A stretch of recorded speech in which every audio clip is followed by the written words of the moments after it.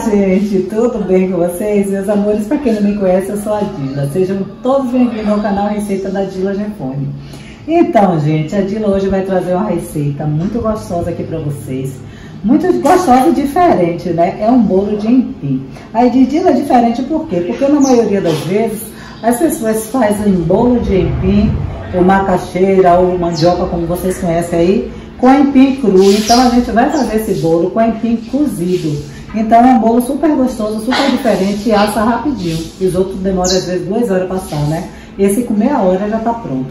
Então, começou o tempo de, de, São João aí, a gente não pode sair, então vamos ficar em casa fazendo bolo, comer um bolo bem gostoso com a família. E a Dila vai ensinar vocês a fazer esse bolo de macaxeira, que é uma verdadeira delícia. Então, olha só, aqui ó, para quem não entender direitinho, eu vou ensinar o passo a passo de fazer esses bolos, a quantidade de material que a gente vai gastar.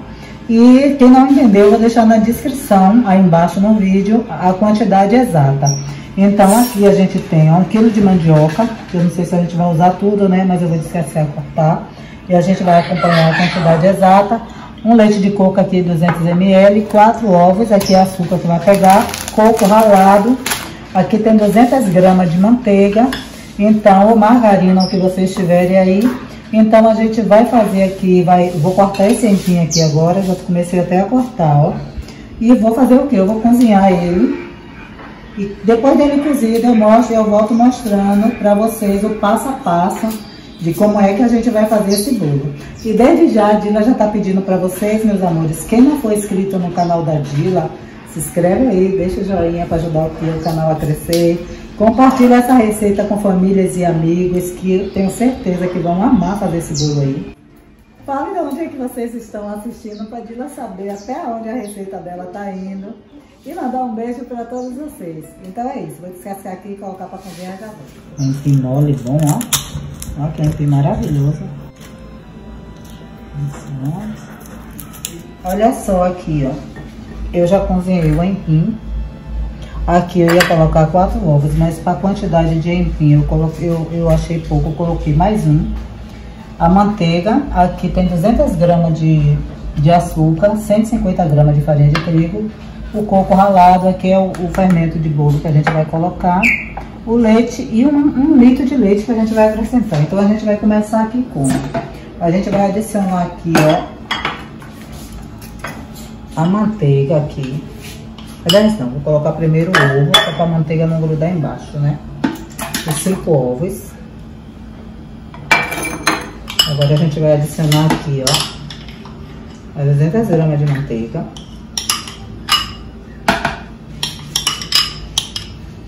Duzentas gramas de manteiga. E eu vou adicionar aqui agora as 200 gramas de açúcar. Então, a gente vai fazer o quê? É danado pra manteiga grudar na colher, né? Então eu vou colocar agora para bater aqui, por no mínimo aqui, uns 20 segundinhos e já volto. Então, a gente já bateu aqui a manteiga, o açúcar e o ovos aqui por uns 20 segundinhos. Então, a gente vai fazer o que aqui agora? A gente vai adicionar aqui, ó, o litro do leite. Vocês podem colocar leite de caixinha, qualquer um, um leite que tiver aí, dissolver até o leite de, de pó também colocar um leite de coco, 200 ml de leite de coco. E aqui a gente vai dar uma batidinha, uma misturadinha. E agora a gente vai adicionando aqui, ó, a mandioca aos poucos, ó, colocando. E batendo. Tira aqueles fezinhos que, eles, que ela fica, no, aquele estalinho que fica no meio. A gente vai adicionando aqui, ó,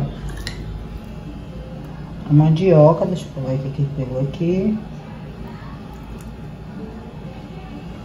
E vamos batendo. Pra não pesar muito, porque mandioca pesa no liquidificador, né? Então, gente, olha só como ficou, grossinho, tá vendo? Como o liquidificador ficou muito cheio, eu coloquei um restinho aqui, ó. E vou colocar aqui no copo. E vou colocar para bater novamente. Porque deu muito já. Então, já batemos aqui o restinho. Olha só como a massa fica, ó. Tá vendo? Ela fica bem grossinha, bem consistente, tá vendo? Vou raspar aqui um pouquinho com fouet. Ficou bem cheinho, viu? Não vai dar um bolo muito grande, muito, muito bom. Vou colocar aqui assim, desculpa. Olha só. E aqui agora, ó, a gente vai colocar aqui, ó, um pouco de farinha de trigo. Mas tem que ser bem pouquinho mesmo. Porque do jeito que ela tá aqui, já tá bem consistente a massa, ó. Vamos colocar aqui um pouco de farinha de trigo, colocar aos poucos. E olha só, o coco ralado, ó. A gente vai colocando aqui e vai mexendo, ó, misturando a massa. Olha só que massa maravilhosa fica, né?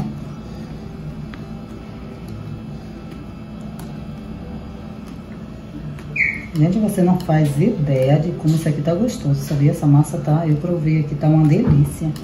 Então, gente, vou colocar mais um pouquinho de farinha de trigo aqui. E mais o restinho do pacote de coco, ó, coco ralado. Aqui tem o quê? Tem 100 gramas de coco ralado.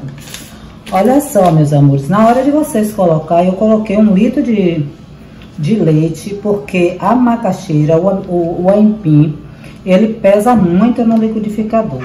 Então, vocês têm que acrescentar o líquido para não dar problema no liquidificador de vocês, viu? Acrescenta um litro de leite. Olha só. 100 gramas de coco. É uma delícia. E a gente agora vai acrescentar aqui, ó, duas colheres de fermento em pó.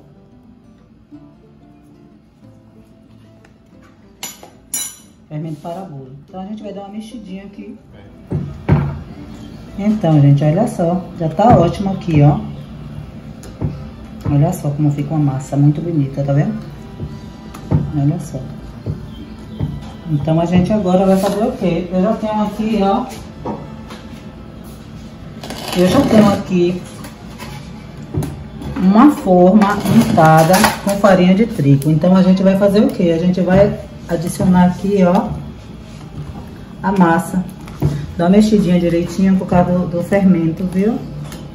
O fermento não mexe muito, bastou vocês colocarem a mexidinha, pronto, tá ótimo. E a gente agora vai adicionar aqui essa massa, ó.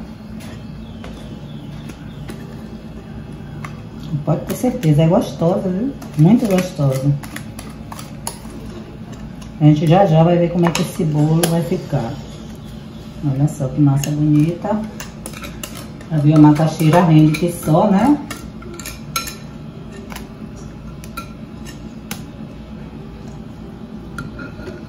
Aqui em casa eu amo bolo. Quase todo dia tem bolo aqui. Então, essas novidades ainda, quando eu vejo, melhor ainda.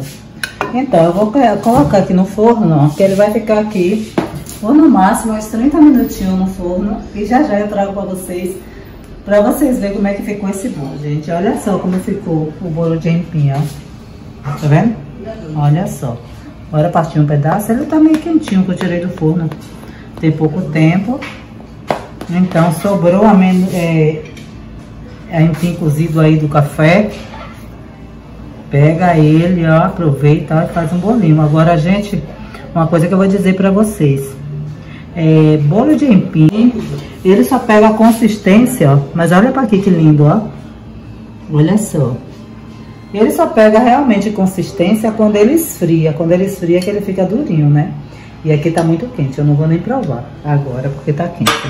Então eu queria só mostrar pra vocês como ficou, ó. Ficou maravilhoso o bolo. Muito bom. Aqui vocês podem colocar pra esfriar. Pra tomar com um cafezinho quentinho, um café com leite, um suco, refrigerante, do jeito que vocês quiserem, né? A preferência de vocês, né? Então eu espero que vocês tenham gostado da receita. Compartilhe a receita se gostaram.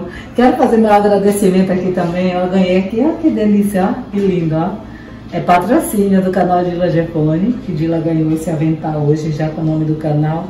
Receita de Lajefone, da Matusquela Diana. De beijo pra você, obrigada ter recebido, viu, meu amor? Então, gente, é isso. Beijo no coração de cada um. Quero agradecer a todo mundo que me acompanha aqui, meus amigos, quem não for meus amigos, que tá, passa por aqui, assistindo o canal da Dila. Obrigada a todos de vocês. E quem caiu de paraquedas, ó, se inscreve aí, deixa o like e compartilha a receita, viu? Beijo no coração. Fui, até a próxima receita.